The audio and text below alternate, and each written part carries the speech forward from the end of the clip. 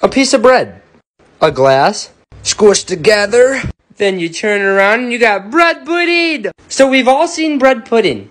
But have we seen bread dozer? Bread dozer. Do you need some butter dozer?